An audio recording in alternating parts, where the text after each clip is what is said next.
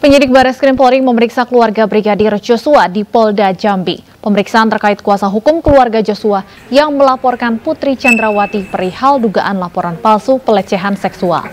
Ayah dan ibu Brigadir Joshua serta kakak dan tante almarhum diperiksa penyidik Baris Krim Polri di salah satu ruang Direktorat Reserse Kriminal Umum Polda Jambi kemarin.